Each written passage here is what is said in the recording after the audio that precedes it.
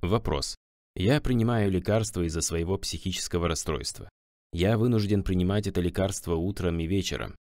Вечерний прием этого лекарства для меня очень тяжел. И иногда я не могу проснуться для предрассветного завтрака, сухур.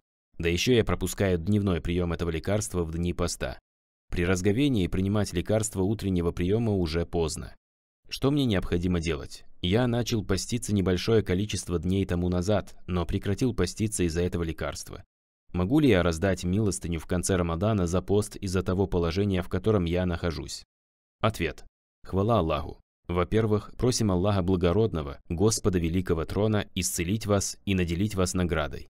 В ответе на вопрос 12488 говорилось о том, при какой болезни дозволено постящемуся разговляться, а именно при которой постящемуся крайне тяжело поститься, или которая усилится из-за поста, или исцеление от которой из-за поста настанет позже. Если ваше положение подобно этому, то вы можете разговляться в Рамадан. Во-вторых, если вы можете отложить прием лекарств на время предрассветного завтрака и на время разговения, то вы обязаны поступать именно так. В этом случае вам разговляться запрещено, так как у вас нет для этого извиняющей причины. Если же сделать этого не можете и обязаны принимать лекарства днем, то в этом случае вы можете разговляться. В-третьих, что касается раздачи милостыни вместо поста, то вы должны обратиться к лечащему доктору, которому можно доверять. Если есть надежда, что вы исцелитесь, тогда вы обязаны поститься, и свой пост кормлением бедняков заменить вам будет недостаточно.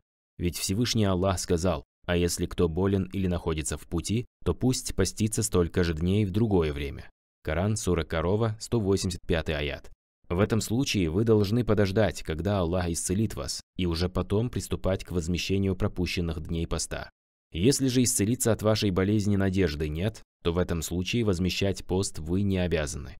Вы должны кормить за каждый пропущенный день одного бедняка, Следует также отметить, что следует именно кормить бедняков, и раздать вместо этого беднякам деньги недостаточно.